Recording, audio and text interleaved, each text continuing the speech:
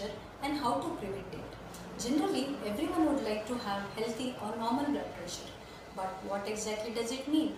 Basically, when the heart pumps, it pumps the blood into the blood vessels. This creates a pressure against the wall of the blood vessels. This is called as blood pressure. Normally, in a healthy person, the blood pressure rises and falls throughout the day. But if the blood pressure remains elevated for longer duration and if left untreated, can lead to serious cardiovascular problems. If the blood pressure remains persistently elevated for more than 140 by 90 millimeter mercury or equal to 140 by 90 millimeter of mercury, then it is known as hypertension. High blood pressure develops over time. It can happen due to unhealthy lifestyle choices such as not having enough physical activity, obesity, smoking, alcohol consumption and even stress. There are also other risk factors for in developing hypertension. There are other risk factors also that can increase the risk of developing hypertension such as aging.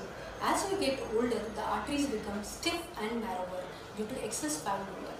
Also, if there is a family history of hypertension, if one or more close family members have high blood pressure, then the person also has the risk of developing hypertension.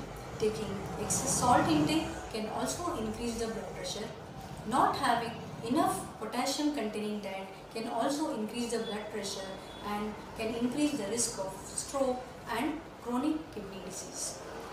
And um, also not managing stress in healthy ways also can pose the patient to develop hypertension. Moving on, hypertension does not have any obvious signs and symptoms, hence it is called as silent killer.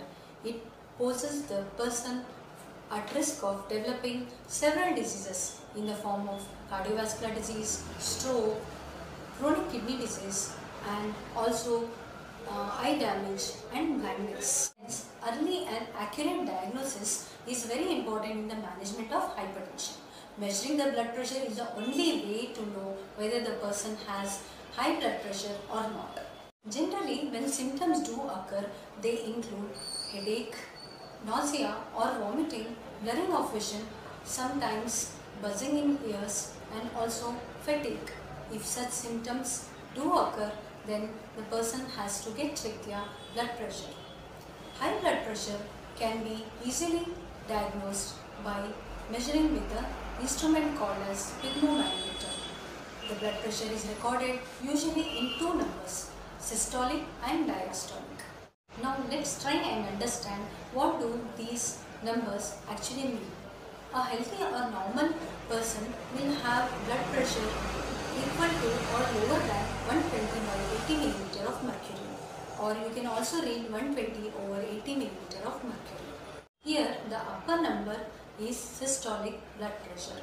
Systolic blood pressure is the blood pressure in the blood vessels when the heart contracts and the lower number indicates diastolic blood pressure that is the blood vessels the pressure in the blood vessels when the heart is relaxed in between the two. If the blood pressure is or more than 140 by 90 millimeter of mercury then the person is diagnosed to have hypertension. If the person has blood pressure more than this number that is 140 by 90 millimeter of mercury it should be accurately treated otherwise the person is at risk of developing cardiovascular complications. On May 17 we celebrate World Hypertension Day. This day is dedicated to bring global awareness and also to enlighten the patient for the importance of monitoring the blood pressure worldwide. This year's theme of World Hypertension Day is measure the blood pressure, control it, live longer. If the blood pressure is elevated, then it should be monitored and controlled. This risk can be prevented and reduced by taking steps towards healthy lifestyles changes such as regular exercise, quitting smoking and alcohol consumption, healthy diet, self-monitoring of blood pressure and adherence to medicine and stress management. If blood pressure is successfully controlled with such lifestyle modification, then it may avoid, reduce or delay the need for medications. So let's take a look at these strategies one by one. Regular exercise also helps you to maintain normal body weight, which in my opinion is the most important way to control the blood pressure. So it is very important for you to aim for at least 30 minutes of aerobic activity on most of the days of the week. The blood pressure can be reduced by doing regular physical activity like jogging, swimming or even brisk walking. Now coming to another strategy that is healthy diet. A healthy diet is very important in controlling the blood pressure.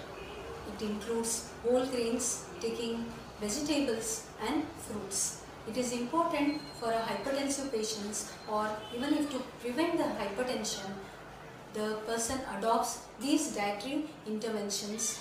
There are various dietary patterns such as uh, DASH diet or Mediterranean diet and also uh, limiting the salt intake and alcohol consumption, taking less saturated and fat diet and taking plenty of potassium in the diet.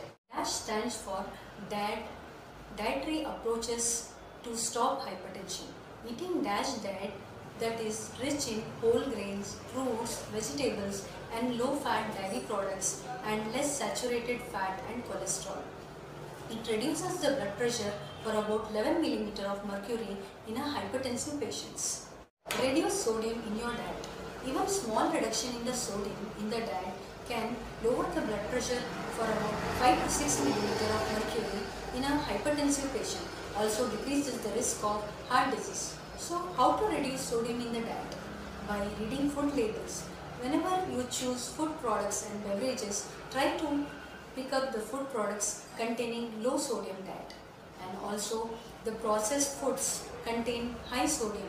Usually uh, sodium occurs very small amount in naturally occurring products. So it is better to eat naturally occurring products and also instead of adding sodium to the food that is 1 teaspoon of salt has 2300 milligrams of sodium in it. So avoid adding salt to the food. Instead add some herbs or spices to flavor the food.